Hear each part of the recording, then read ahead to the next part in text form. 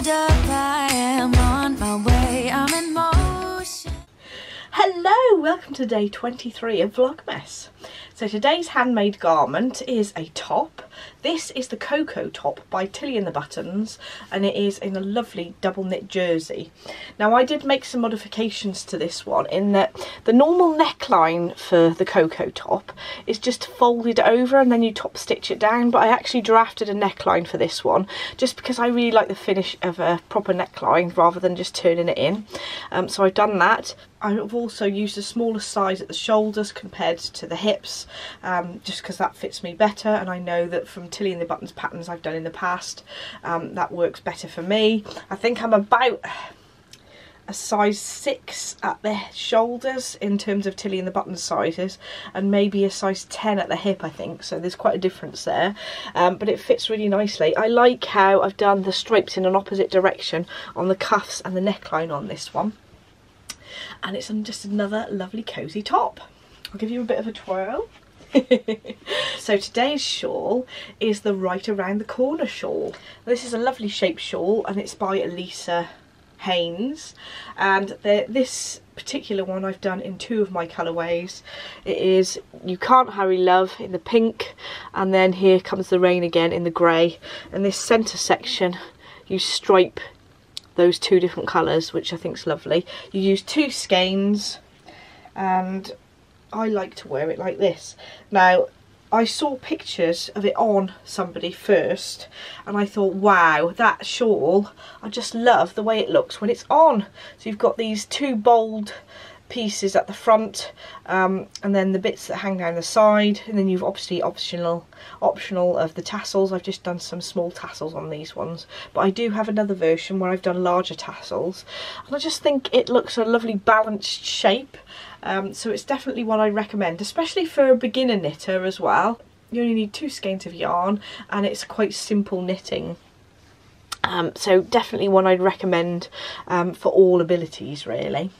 So I've got quite a few little bits and bobs jobs to do today, um, but I want to finish Jensen's stocking ready for Christmas.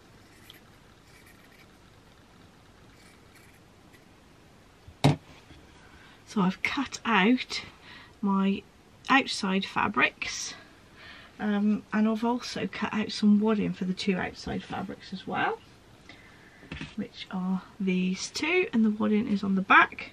I'm going to put a few pins on here before I start doing some quilting. And I've also prepared two panels for the lining as well, which are assembled using the same stripped piecing as I showed you yesterday. Um, so first of all, I'm going to pop some pins in here and do a little bit of quilting before I start doing the assembly. So I've decided to do some diagonal red quilting lines all over my stocking. What I'm going to do is I found the 45 degree angle, put that along this seam line, and I'm going to put some masking tape along the line there which is 45 degrees from this line and then that will be my first line to quilt. It's, I think it's easier to start from the middle and then I can work my lines out from that line because this will be sort of the longest line that I can fit in. Um, so I'm going to put some masking tape on there now. Let's go to the ocean. Yeah, let's go outside. Now I could use masking tape across the whole thing but what I'm going to do is use there's a guide on my on my sewing machine that I can attach to the foot and I can just follow the initial quilting line that I'm going to do first. So I've got the red thread set up in my sewing machine and I'm using this guide here um, and I've set it to one inch from the stitch line here so that I can just follow along uh, the initial stitch line that I'm going to make.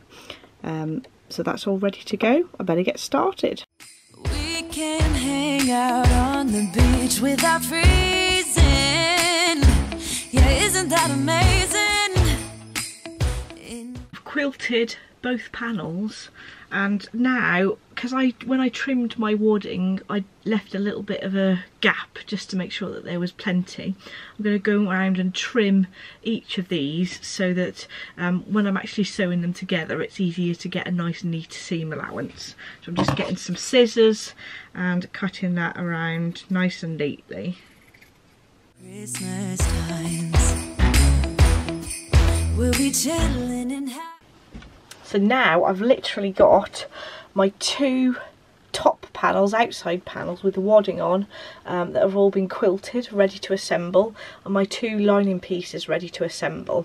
But uh, the only thing that I need to make before I start assembling these is a uh, is a loop holder. So, so I cut a strip of one of the three inch strips um, that was left over from um, the previous section where I cut out um, the stocking from the piece like this and I just unpicked a section out of this and this piece happens to be about nine and a half inches so I thought that would be the right distance for the hanging loop.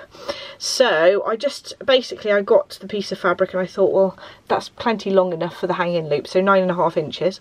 And then the three inch strip I took it to the ironing board and I pressed it in half then I folded the centre I folded the pieces to the centre, pressed that, and then pressed it again. Now, instead of using interfacing, I like to do this because there's four layers of fabric there, which is plenty strong enough for a handle, um, but you don't get that stiffness of interfacing. Um, if you did use woven interfacing, it'd have a similar effect, but I thought because I've got the three inch strips already, three inch folded into four is about uh, three quarters of an inch thick um, for your tab so I think that's perfect what I'm going to do is just stitch along both sides of this strip to make sure that it's completely enclosed. And also I like to do it on the other side because it makes like an even finish. So I'm going to do that and then we're going to start assembling. Having a good, good time. So this is one of the quilted panels for the outside of my stocking. This one I thought would be the back because I'm going to have it sort of facing to the left. I don't know why. it probably doesn't make much difference. Um, but this one is what I'm going to put my handle on so that the handle sort of sits to the back of the stocking.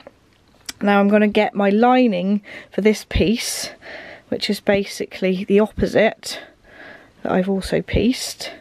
And I'm just going to pin it to the outside piece and stitch across the top with that handle tab sandwiched between with both ends um, into the seam. So I'm just going to stitch across the top of there. I'm going to do the same with the other piece but obviously with no tab handle in there what I'm also going to do with the one with the little tab handle, I'm going to stitch over that tab handle a few times just to make sure that it's really secure. So I'll stitch over it and then just go backwards and forwards and that should secure it nicely. I'm using a quarter inch seam allowance now um, as well as the piecing to join the stocking together as well.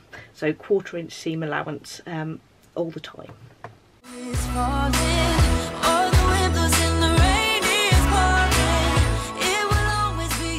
I have just remembered that I'd bought some rickrack, or not rickrack, but some pom-pom um, trim to put on my stocking. So I've just pinned it on, even though the actual lining is stitched in to the top end. I'm just going to pin that in there and give it a zigzag stitch over the top. And I've got that pinned in and this one pinned in for the one with a tab in as well. So I'm going to just quickly zigzag stitch over that um, before I start my assembly. So I've got my two right sides here with my pom-pom trim attached. This pom-pom trim is a bit of a nightmare because there was a little bit of a stretch to it so I would suggest you hand tack it in place before you start zigzagging anything on the top if it's anything like my trim anyway. So I've got my lining attached on both sides and what I'm going to do is sandwich these pieces of fabric together right side to right side and I'm going to stitch all the way around this side of the stocking and I'm going to do all the way around here but I'm going to leave a gap at the foot so I can turn the whole thing inside out. So I'll actually start here, stitch all the way around, all the way around the foot, all the way back to about here and then I'll be able to turn the whole thing through the foot. I am going to pin this to the inside so that I don't get it caught in the side seam and I'm actually going to put some little applique pins in these pom-poms near the edges of the seams so they don't go, get caught in the seams as well. Um, so I'm going to sandwich those together now. I've now pinned it together, ready to stitch. And like I said, I'm going to stitch all the way around here, all the way around the back, and stop here so that I've got this gap at the back and I'm going to machine stitch that shut. But if you are going to have it so that it is double sided if you hand stitch that bit then it'll look good on both sides. Obviously you won't have the quilted side out if you do have the lining outwards. Um, but I better get on with stitching that. What I've done here as well is I've nested my seams on the two sides so that I'm trying to match up those stripes um, on the join. So I'm now stitched all the way around. I'm going to put my hand in through the lining. I nearly forgot to stop stitching so it's a little bit closer the gap than I originally intended. So put my hand in the gap and pull that stocking through. And then I'm going to use my hand to smooth out the seams on the stocking then I can take these little pins out that I've put to stop the pom-poms from escaping and getting in the seam allowance. So I, what I'll do is once I've um, stitched the inside closed and poked it in, I'll give it a nice press as well. I'm just tucking in the seam allowance. I'm going to just pin that closed and take it over to the sewing machine and top stitch it an eighth of an inch from the edge so that you can't see um, the stitch line and then um, like I said before though if you are going to have it reversible I do this by hand using a ladder stitch and then we can poke the lining inside the main stocking. Right so now we are stitched we need to poke it inside. Right so there we go let's just give it a quick press. So there we go, we have a finished stocking. I'm so pleased we finished this today. I say we, it's because you've been helping me. um, it's a nice usable stocking, relatively large for like an actual stocking shaped one. I am going to make him like a giant pillowcase size um, bag that's Christmassy print as well. Um, but this one I thought would be nice to have a stocking shape. Um, but there we go. The enormous crocodile finger puppet book. Are you ready, Jensen? One enormous crocodile, hungry and on the hunt for something to eat. What's he gonna eat? Two coconuts hanging on a tree, munch crunch. The enormous crocodile eats them up. Munch, munch, munch, munch, munch. Crocodile is hungrier than ever. Watch out, or he might eat you. Yum, yum, yum, yum, yum, yum, yum. Yum, yum, yum, yum, yum, yum, yum, yum, yum, yum. Yum, yum, yum, yum, yum, yum, yum, yum, yum. That was good, wasn't it? And then the last page. We're on our way home. Go, go, go. Goodbye, moon. Touch the shimmering earth. Where shall we go next? Where do you want to go next? You want to go to bed? Okay, let's go to bed, shall we? Well, Adam, as Yes. you've already put the kettle on, I think you should be getting your advent calendar chocolates out. Well, it would be nice, yeah, it? get on with it then. What day is it?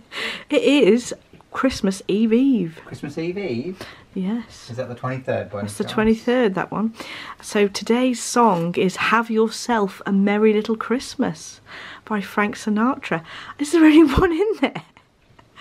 I think Mum must have nicked one of your chocolates. You know Someone what she's has. like. There's going to be an inquisition tomorrow. we'll see.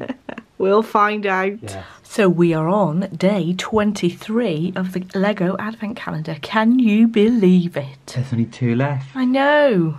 What am I going to do? I know you'll be really upset, won't you? Are you ready? Yeah, we're ready. Ho ho ho! It's a Christmas tree. Oh, lovely. And that's going to fit in the number 23 spot in the corner. Lovely. We have a finished Christmas tree. Oh.